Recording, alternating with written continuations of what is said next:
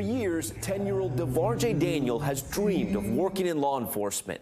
Of the office of police officer. of police officer. His father says that dream was inspired by the kindness of officers to his family when Hurricane Harvey hit their Houston home in 2017. And so three officers brought him over there to us, and we thought, you know, they were in trouble. But uh, these three officers asked asked me if they can adopt the kids until they left the shelter because they couldn't get home to their own children and, and their families. And we said, okay. But unlike most 10 year olds, DeVarjaye can't wait until he grows up to join the force. In 2018, doctors told the family DeVarjaye's brain and spinal cancer was terminal.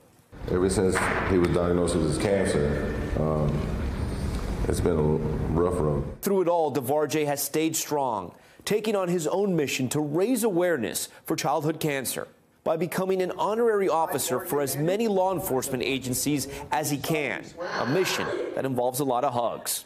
It's just like the Grinch is hard. This little, this little, and this little, and go into about that size, like a bigger size. My heart's not small, it's big. And just like after Hurricane Harvey, it was police officers who stepped up and have taken care of DeVarjaye. You're an inspiration for us, and you're showing us a better way to live and to live to the fullest. Hundreds of departments, from the Dallas Police to the DEA, have proudly sworn in DeVarjaye as an honorary officer, deputy, or special agent. This young man right here, DJ, we're going to show him a lot of love. And today, the NYPD joining that list, becoming the 387th law enforcement agency to add DeVarjaye to their ranks.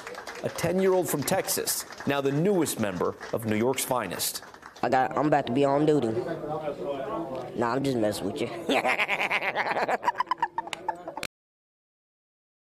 Thanks for watching our YouTube channel. Follow today's top stories and breaking news by downloading the NBC News app.